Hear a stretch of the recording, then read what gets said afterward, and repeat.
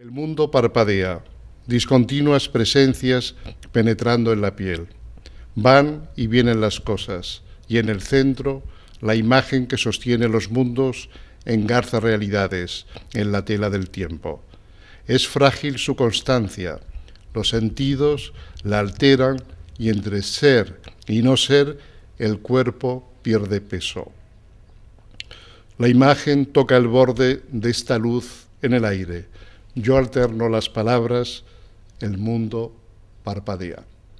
Bueno, yo espero que, se encuentren huellas eh, de una vida, de una vida en imágenes, en ritmo, y también reflexión desde un punto de vista no tanto de la, del pensamiento, sino de la propia poesía, un testimonio de, de, mi vida, pero me gustaría que fuera también el testimonio de algo de la vida, es decir, algo que va más allá de mí mismo. Bueno, la poesía más allá de lo, de lo escrito, yo, yo espero que, que que impregne ¿no? pues, eh, algo del comportamiento y sobre todo de la educación de mis sentidos. Yo espero que la poesía que he leído, ¿no? porque sin la, sin, la, sin la lectura de la poesía no se puede tampoco aprender la poesía, yo creo que esa poesía espero que haya formado mi sensibilidad haya formado mis sentidos. Sí, me emociona y me ha gustado mucho este, eh, este azar es un poeta inmenso, uno de los grandes poetas del siglo XX y uno de los grandes incluso pensadores, uno también de los mejores críticos, lectores de poesía.